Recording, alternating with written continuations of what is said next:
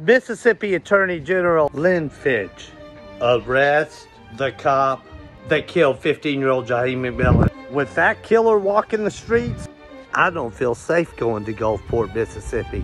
Do you really promote life? Promote the life of Jaheim McMillan. Don't you work for the people? Arrest the cop. He shot Jaheim McMillan back of the head.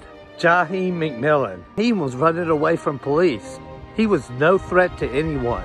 There's no evidence that Jaheim did anything wrong. There is evidence that the monster shooting Jaheim in the back of the head and shooting the windows out of the Family Dollar and another car, that officer is a threat. Why haven't you arrested the cop that killed Jaheim McMillan? Unlike Jaheim, that cop should not be on the streets. There's no evidence that Jaheim McMillan did anything wrong. I know somebody who did point a gun and he shot it. I mentioned that Jaheim was 15 years old. What's going on? The Gulfport Four were charged as adults for aggravated assault. There's no evidence of any crimes. Those charges need to be dropped. Harrison County District Attorney Crosby Parker, with that monster running around, we're not safe. Jaheim was no threat.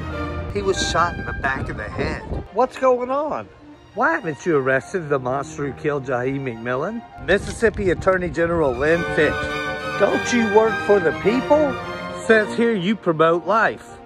Do you really promote life? I need you to promote the life of a 15 year old. He was shot in the head by Gulfport, Mississippi police. Back of the head.